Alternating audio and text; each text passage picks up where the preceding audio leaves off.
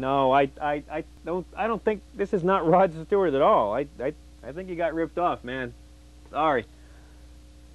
Hi, I am John Fugelsang here in VH1 Archives, deep in the bowels of the root cellar of rock and roll. And today we have a very special show for you.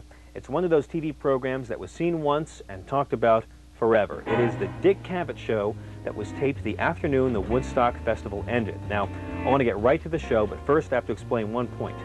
Joni Mitchell, who was on this show and is terrific, missed the Woodstock Festival because her manager said that if she went, she might miss the chance to be on the Dick Cavett Show. And I mean, come on, what's one cheesy festival on some muddy farm with a bunch of drug-crazed hippie kids compared to a chance to be on camera with Dick?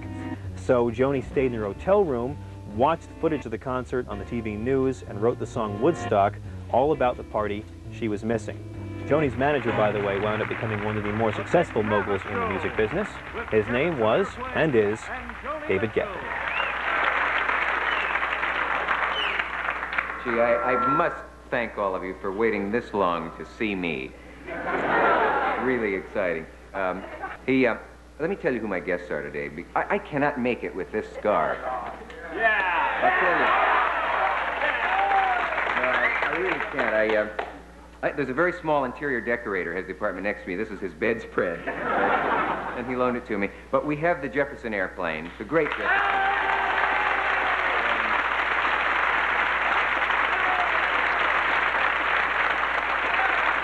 marvelous. There they are.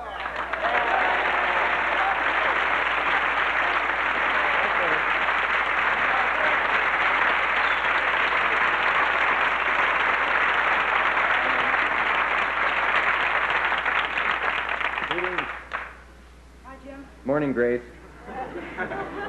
oh, uh, Joni Mitchell, uh, another remarkable musician. Joni Mitchell.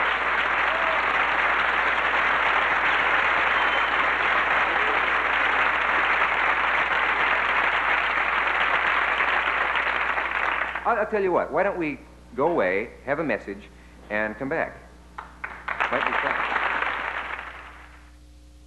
Everybody is always trying to define today's rock music, and there are phrases like hard rock and folk rock and acid rock and revolution rock and schlock rock and uh, I don't know. We, we have none of that on the show today, but we do have some giants in the field, and I would like you to meet. They're not in the field now. They were this weekend. What's happening? Will you welcome one of the greatest exports ever to come out of San Francisco, the great Jefferson Airplane?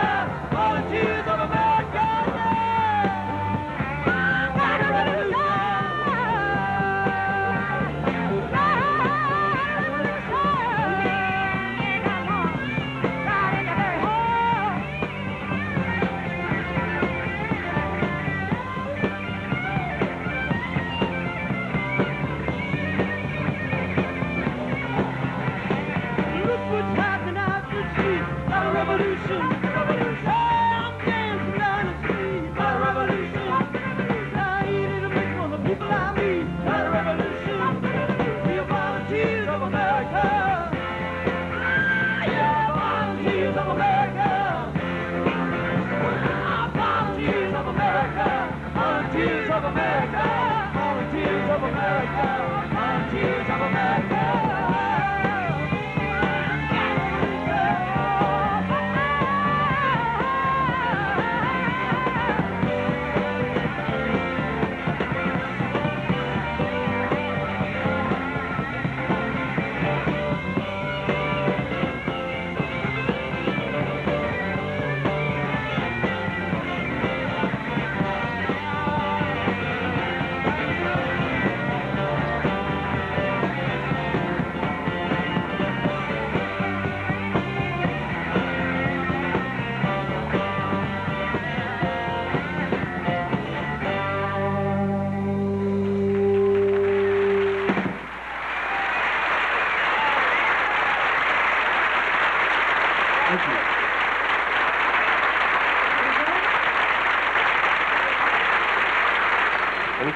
Always wanted to say on television that nobody ever gave you the chance to. Yes, yes, I got What am one. I doing? I got one. They just passed out in the executive room upstairs. Did it feel good? At four o'clock in the morning, Four in the in morning? the, in the rain. Yeah. in the morning. It felt good. Try 7:30 or 8. Right. It felt good. I still have my mud. Did It still felt good. I just my mud. I wasn't there. Uh, did you go on at eight? You're kidding about that. Sun, sunrise. Fifteen hours on Oh. stage. We did a religious thing. It was Sunday morning. You did? Yeah. Something, um, Morning raga. I see. Well, I- Is it re- weird to work at that hour? I mean, can you get anything? Well, have you ever worked at that hour? I haven't done anything at that hour. Uh, we won't elaborate on that. Well, how was the uh, festival in general? Would you consider it a s- success? It was incredible. Yeah. It was probably the strangest thing that's ever happened in the world. Everybody said there was some.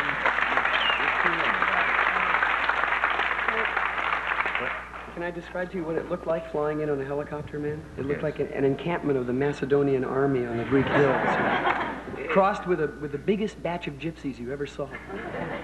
How did you get out? I hear that they're still trooping back. It, it was yeah, fast. it was amazing. There's a busload of people who were who thought they had tickets to the Lawrence Welk show, and they're still. Uh, was the sound okay, and could everybody hear? And anyway? Oh yeah. Bill Hanley sound. Chip Monck, also, Mr. Yes. Chip Monck. Chip never lets you down. Never, man, never. He's I for hate those sure. concerts where you, after the tenth row, you can't hear, and the act comes out and says, "Good evening, pass it on." You know, and you go- What'd you do, Grayson, in your uh, off hours at the festival? Get on. Does anyone want to answer Jim, for her? Listen, Jim, I wish I could tell you. You've got to learn my name, Miss Joplin. Wait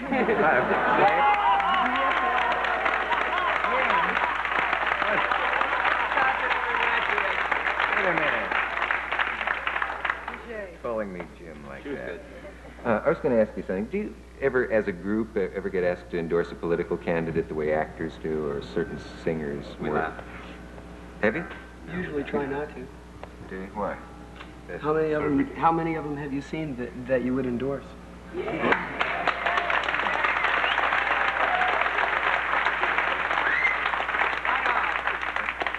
I'd sing for Pierre Trudeau. Yay! Yay! Now Pierre Trudeau's another. I one. would sing for Pierre Trudeau. he's, yeah, he's, he's very good. a conspicuous good. I guess everybody knows you're from Canada. Your work is sort of unpolitical in general, isn't it? You don't.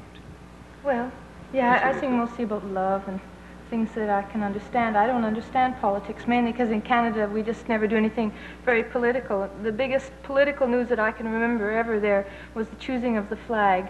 And that took three years. And, and they finally Great chose one that none of us liked. and Fantastic it arguments. faded and everything. And, oh, well. But we're still here to the south of you, protecting your border. when you're up around uh, playing concerts and touring around the country, and all, do you still get guys yelling at you, get a haircut, and uh, Sometimes you get, hey Ringo, did your barber die? marvelous witty fellows? Either that or, or eh, hippie creeps. It- what do you do about that? Suppose you're walking down the street. We used to collect and them. three guys come toward you, and they have crew cuts. Shoot him with And, flare gun. How's that? Peace and love, flowers. Now, what would you do? Actually, if you're in a menacing situation, they say, "Hey, Split, weirdo," you know, leave, go away, Yeah. instantly, be someplace else as rapidly as possible. get into the center of another city. yes, that's the Yes, one. that's what I always do when I'm menaced. The best thing to City do. up in Woodstock. There's like more people up there than there are there are within there are in San Francisco. Did you consider that as a city, man? Say, how do you mean? Uh, well, I mean, for instance, like about two nights ago, that place up there was the second biggest city in New York Yeah. and had no violence. Did the mayor show up? No.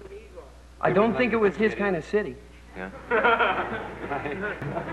do, do you uh, you read your reviews? Do you like to read analyses of your work and critics who try to say what it is you're saying and all that stuff? As Leonard little- Feather once said we sounded like a cow kicking down a backyard fence.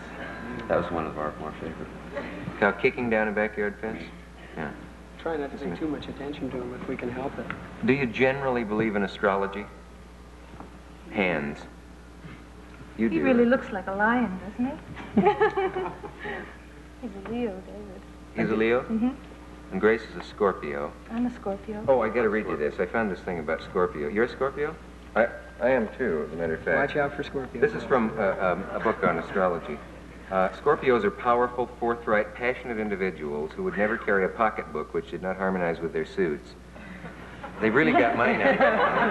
Fantastic. Are you a I've never carried a pocketbook. Yeah, weaknesses are Scorpios have a tendency to sex enslavement, and um, I'll just keep reading here.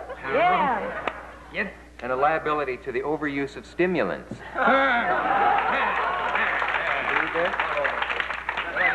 Is there anything we left out? Anybody, anything anybody wants to say or rap about? Oh, a million things. You can't say Are there? anything. At least a million. Anything that we can use on the air? Mm, Burn the city. Anything you've always wanted to say on television that nobody ever gave you the chance to? yes, yes, I got What am one. I doing? I got one. They just passed out in the executive room upstairs. I got one, and I don't even think it's wrong. Okay. Well, like the air that we're all breathing is not clean, right? You're aware of that, right? Right. Everybody is. Anybody that looks out the window. Consider this. The only way to solve it seems to be to convince GM, Ford, Chrysler, 76 Union, Shell, and Standard to go out of business. Mm-hmm. Which is, which is merely a setup for the punchline, which is fat chance. Yeah. Especially since four of them are my sponsors.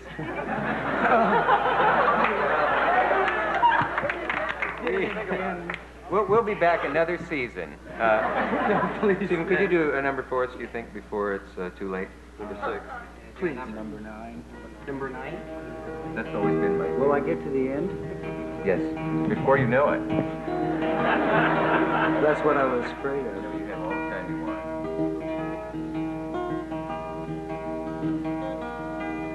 Four and twenty years ago, I come into this life. The son of a woman and a man who lived in strife. He was tired of being poor. And he worked like the devil to be more.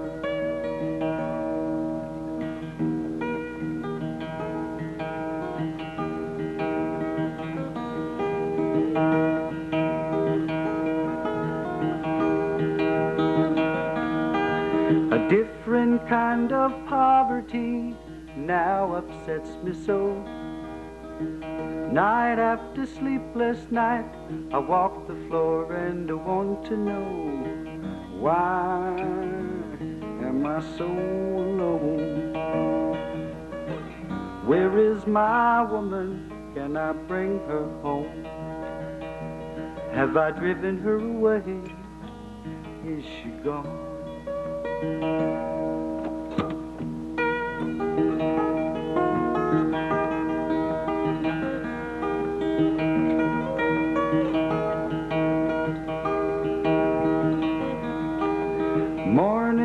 Comes the sunrise and I'm driven to my bed.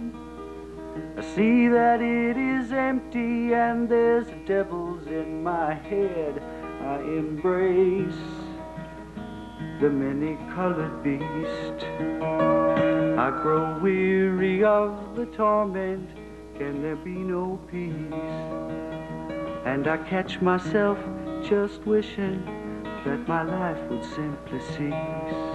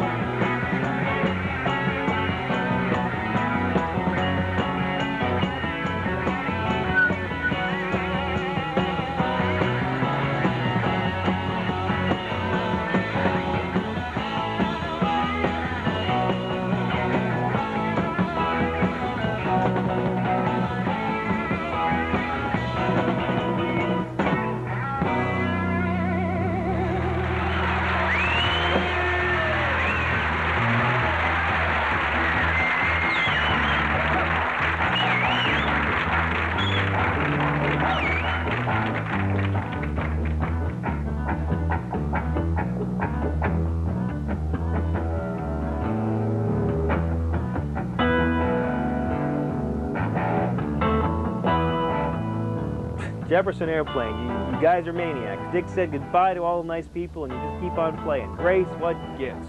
You see, kids, there really was a Woodstock even before that one the Spin Doctors played at.